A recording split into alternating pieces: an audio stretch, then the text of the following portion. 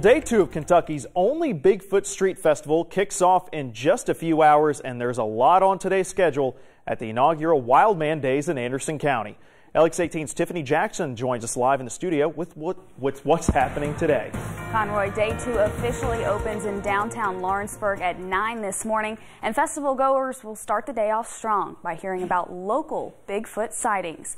According to KentuckyBigfoot.com, the most sightings in the state have been in Anderson County. Today's events include a wild man calling contest, a biggest foot contest, and a celebrity appearance by Cliff and Bobo, the stars of Animal Planet's Finding Bigfoot.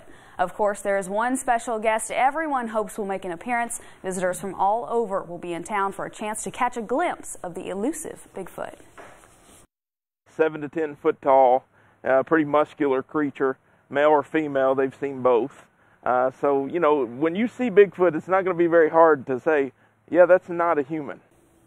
Now, the town is hoping that the first time visitors will come for Bigfoot, but they will come back for the bourbon and to see what else Lawrenceburg has to offer. Now, if you want to learn more about the festival, head on over to our website, lex18.com. Conroy, back to you.